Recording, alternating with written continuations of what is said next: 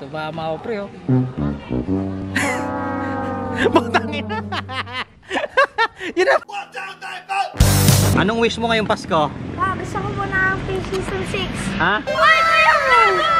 Oh, ay, so ngayon mga abnormal, magdi-deliver kami ng aming ano, magdi-deliver kami ng aming goods. Ayun na siya, ayun na.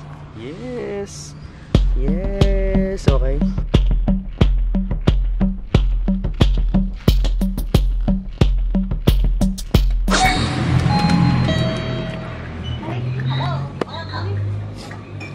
Meron ngayong discount ng Smirnoff, 300, alam piraso? Anim na piraso. 5 plus 1 po siya, sir. 5 plus 1, 300 lang. Sobrang mura nun mga abnormal. Tama. Yes po. Ang galing niya kasi mag-sell stock. Ano mo yun? Anong maganda sa Smirnoff? Bakit bibilin siya ng tao? Ma'am, anong masasabi mo bumili ako ng Smirnoff na anim? Ay, thank you sir. Salamat. Concern ka ba sa kalusugan ko? Concern ka ba? Kunti lang. Pampatulog lang po. Ang galing kasi ng sales, sales lady niyo eh. Yes.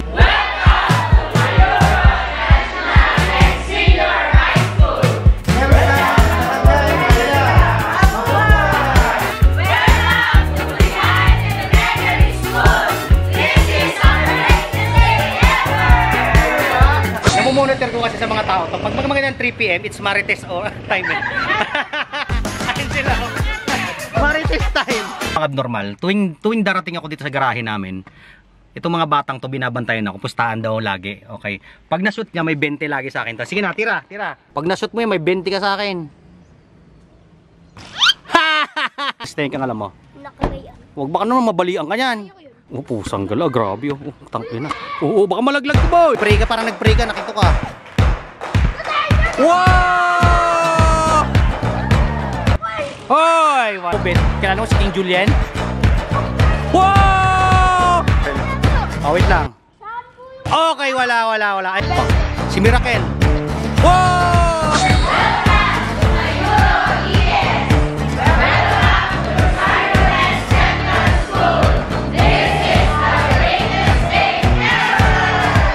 Sino mo mga abnormal? Ang napaka-social, may tissue-tissue pa talaga, pang chef talaga. Eh, naman. Ha?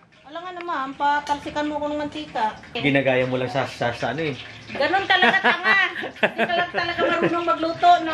Pinatulo-tulo mo, nalaglag naman pala dyan. Nasa yung buntot ko yung buntot, dali. Yan, pipretuhin yan. Yung ano mo. Yan yung... Ano, sabi ko kasi sa kanya dati, maraming pagkakamali yung dating employer niya. Like for example, wala siyang SSS, walang kontrata, hindi siya employee talaga, wala din siyang salary na stable, tama? Walang salary na stable, na hindi mo alam kung ano yung scope of responsibility niya, walang contract, wala may binarbang ka mga contract, na kung saan sobrang substandard. So, hindi kasalanan ni Junre yun kasi hindi niya alam ang, ang gusto lang niya magtrabaho, tama? Okay, so ngayon, ah, aayusin natin yung buhay niya. So, tingnan natin kung anong may tutulong natin sa kanya. Hanggang pang nag-stay siya dito, habang nag-stay siya dito, hanapan sa- natin siya ng trabaho. Kung hindi siya mahanapan ng trabaho, kay tulpo natin siya apply. Itong mga pobre manggagawa, pag pinagnanakawan, literal parang ninakawan niya. Kasi yung benefits na dapat pinaghirapan nila, nasa batas yun, ibibigay mo. Hindi nabibigay. Yuhulog, opo. Yung sweldo, sa halip na ibigay, nabubulsa. Kinukupit. Pwede ba yung pre kay tulpo mag-apply ka trabaho kay tul tulpo? Pwede. Pwede. Para hindi ka na maloko, di ba? Marami ka nakasuhan kasuhan ngayon pre, empleyado, walang SSS, pwedeng kasuhan yung employer. Oo, walang SSS. Pangalawa, walang kontrata. Ah, wala eh, wala lahat. Pangatlo, yung living, yung shelter nyo, yung pinagtutirahan nyo, hindi siya he- healthy for family. Kasi nasa batas yung mal eh. So ngayon, tutulungan natin siya. Tuturuan ka namin pre para hindi ka na ulit maloko. Okay? Marami kasing employer na nagsasamantala dahil porket hindi nakapag-aral yung tao, sinasamantala nila. Marami yung kilalang ganun. Kaya dito ka sa akin, tuturuan kita ng mga tamang proseso. Para pag nag-apply kang trabaho, meron kang SSS lahat. Okay? May bangko ka pa.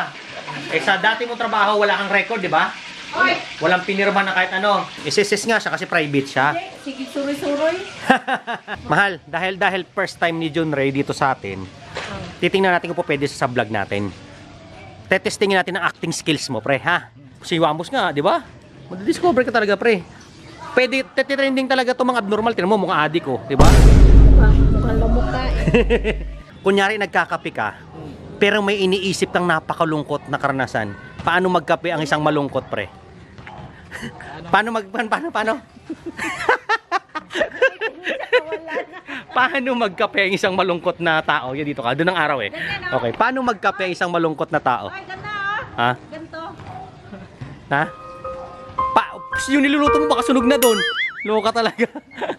pag ganun, pag ganun, ganyan ka.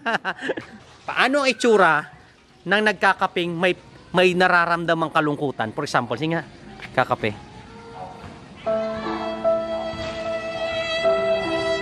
Sabay ano. Tangin na. Inisting natin ang acting skills mo agad. Vlog, karami ang vlogger, scripted naman talaga eh. Di ba, minsan may mga drama-drama sila, scripted lang yon Okay? Paano magkape ang isang may pinagdadaan ng lungkot? Ay na, mukhang manghid ka eh. mukhang manhid. Hindi na ako nalulok. hindi ka na nalulung, hindi ka tinatabla ng buhay. Pre, eto. Ano, ano, ano naman ang ano? Paano naman magkape ang ano? ng is ang taong tumama sa loto. Kunyari, tumama ka sa tumama ka sa loto, tapos na, nakita mo sa cellphone tumama ka sa loto. Numero mo. Yun. Tumama ako pre oh. Putang ina. Yun na, putang ina, tumama ka ng 15 million, pre. Yun ang pinakamalaki. Tangin, ayun. Kalain mo ganon. Hindi mo maramdaman yung ano. yung- Mahal, tumama sa ng 15 million na suka. Pag ako tumama ng 15 million, pre, for example, ba tumama ko 15 million? Di ba nagkakape ka? Oh, lagyan mo tubig, pre, kape. Kunyari, kunyari, kunyari. Ano kayang tumama sa loto? Putang. Ganon, pre. Pag tumama ka sa loto. Ikaw, pag tumama ka sa loto, paano? Mukha, mukha, mukhang hindi naman tumama. Ha? Mukha namang hindi tumama eh. Oo. Yung parang ano, Ang ano? may tama sa utak. o, paano mag, mag, mag ano si Robin Padilla? Putang ina. O, ano mga linyahan? Kilala mo na ba to? Hindi mo kilala to? Kapatid ni Wamos, siyempre. Se acabó.